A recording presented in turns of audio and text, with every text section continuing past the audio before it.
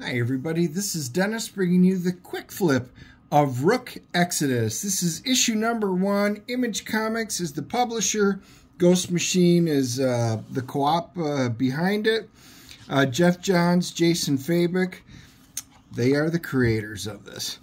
So guys, this is how this works. If you're new, 60 seconds, we get to look at the artwork.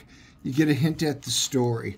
If you think it looks really cool, by all means, go down to your local comic shop and grab your copy. And, uh, you know, as we go through this, do me a favor. As you get to see this each, uh, you know, each week I put up my uh, new quick flips. Uh, smash that like and subscribe button. It helps the algorithm. Plus, you get to see what's out there.